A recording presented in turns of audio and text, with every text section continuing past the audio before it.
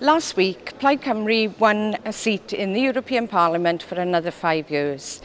The opinion polls were all predicting we would lose, but we didn't. We won the seat. Why? Because of you, because of the work of our party, the staff, the members, the elected members right across the country who worked tirelessly to ensure that our supporters came out to vote in this really important election. We were an amazing team and I would like to say thank you to each and every one of you who took part in that campaign. We showed that we can succeed and it's a good sign for the future, for the elections coming up next year and the year after.